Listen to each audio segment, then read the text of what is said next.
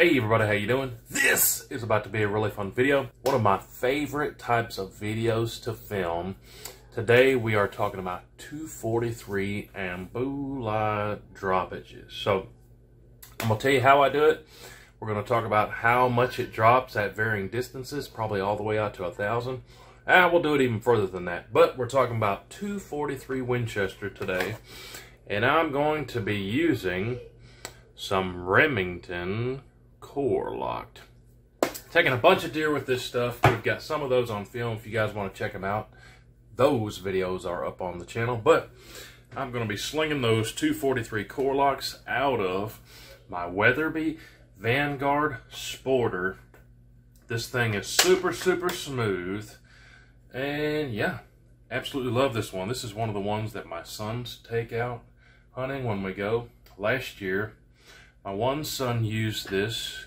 He got two whitetail and a black buck with this very setup right here. But you need to know whether you're you're target plinking or you're out there deer hunting in the woods or in the fields or wherever you deer hunt, you need to know the drop. So this baby right here is sighted in at 100 yards exactly. And we're going to make sure in this video. But deer pops up at 50 yards, deer pops up at 200 yards or 300 or 400 yards. You need to know exactly where that blue light is going to hit, especially if you're hunting. You don't want to have any guessing. Well, I sighted it in at 40 yards. It's probably on somewhere around 175. I sight everything in exactly at 100 yards. And then when I go hunting, I have my little chart right here. I'll show you what I got on this one.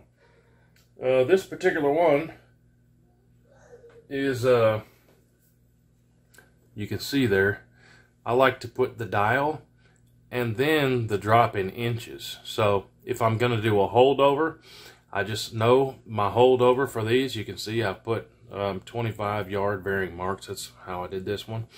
And then also the MOA dials because this has an MOA scope. But all that rambling being said, you need to know exactly where you're going to place that round when you squeeze that trigger off, especially if you're deer hunting.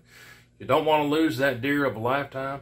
You definitely don't want to wound an animal. So, very important topic in my opinion. 243 Winchester is a fantastic hunting cartridge. And we're going to take this one out to the range. We're going to verify that it's good at 100. Then I'm going to do some groups at 100. I'm going to take at 50. And then I'm going to do some groups at 200. Just get some real life data with this setup. If it's sighted in at 100, where, where would I need to hold at 50? Where would I need to hold at 200? Then I'm going to show you some charts that's going to show us on paper the drop using this Core-Lokt ammo. Let me show you one real quick. There's what those Core-Lokts look like. It's a lead nose, deadliest mushroom in the woods. Y'all know what I'm talking about. Uh, but and these have taken tons and tons and tons of deer over the years. Uh, but I'm going to show you real life out there at the range. The drop out of my Weatherby with this 243. Then I'm going to show you on paper, even out further, what that drop chart looks like and the trajectory of that round. Hopefully you learned something. Using these, one, because this is what, a lot of what we hunt with, and two, those lead nose hunting rounds is a lot of what you probably hunt with. Even if you don't have a box of the Core-Lokt, whatever you have is probably very, very similar.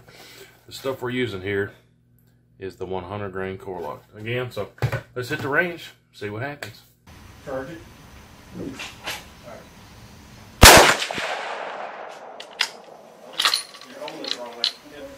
There you go. You can reload. Here.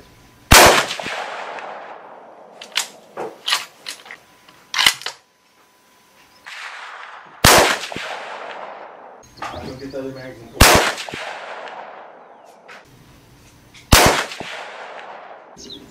You push it in. See where that moved? Oh, bounced off and gotcha.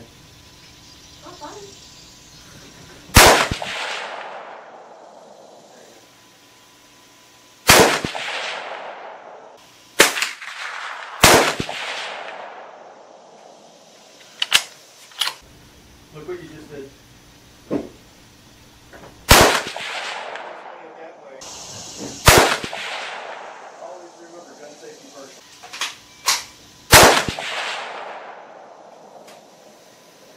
All right, so back from the range, let me show you our 100 yard groups here quick.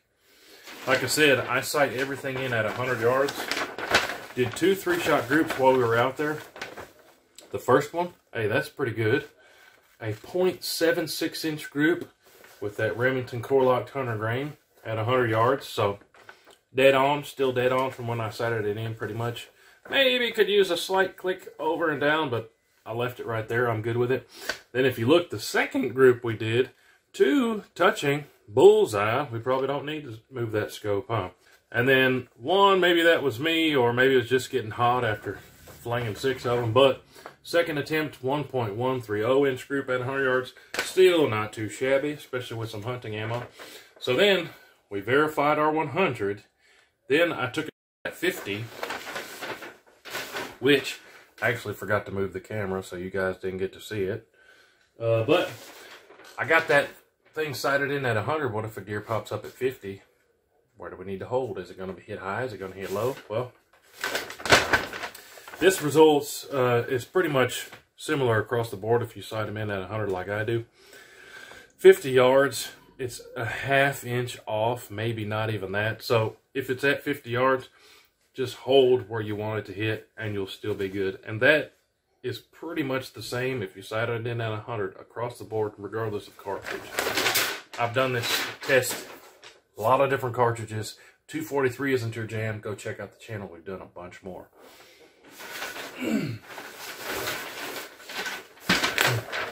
then we went out to 200, did two three-shot groups at 200.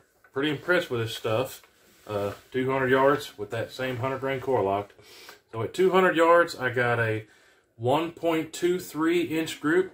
That's pretty good at 200 yards with hunting ammo, guys. And holding right here, our drop. That's what the point of this video is, right? To see how much it drops with a 100 yard sight in. It dropped 2.2 inches. So with this setup, sighted in at 100, deer pops up at 200. That means I would need to hold two inches high. If I'm not dialing the scope, which at 200 yards, you're probably better off just holding two inches high. And then the second one here, check that out, guys, an even better group. That's a 0.827 inch group at 200 yards. Hey, that's that's impressive in just about anybody's book, I'd say. Uh, and on this one, holding a little lower, so that's a factor there too, right? This one dropped about an inch. So we had a two inch drop and then a one inch drop. Both really good groups. All that being said, Weatherby sighted in at 100 at 200 yards. It's only dropping at one to two inches. We saw there on that live action out the range. So now what I'm going to do is I'm going to build drop chart for you guys using this Core-Lokt ammo, 100 grain 243 do a little bit of math on paper, show you this chart. We'll take it, you know, way out there quite a ways, just to show you guys the trajectory and the drop of the 243 Winchester. Check this out.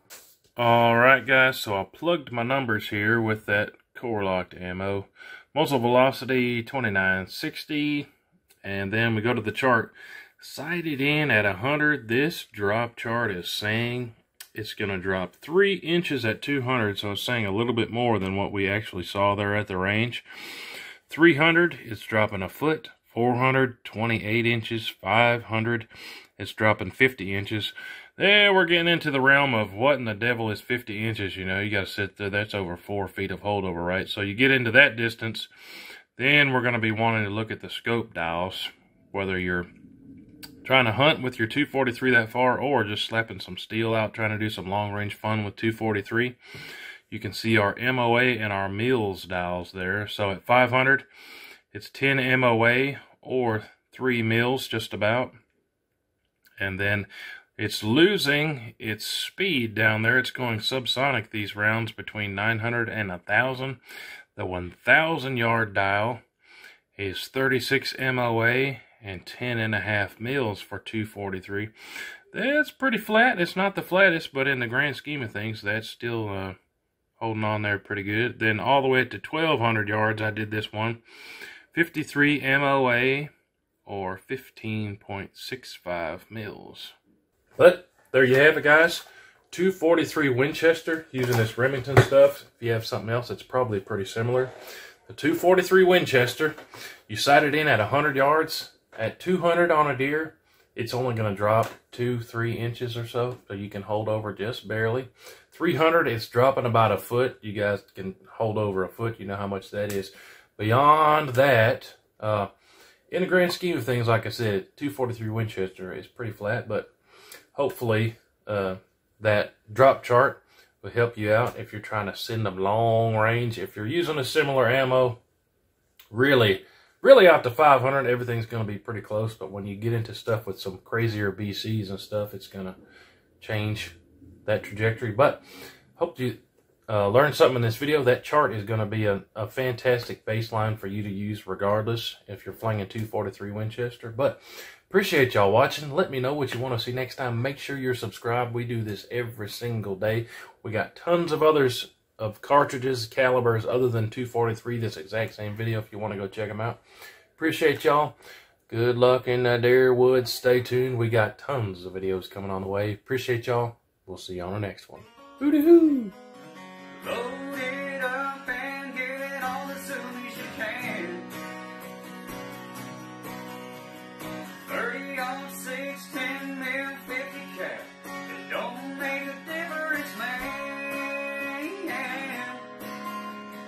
life.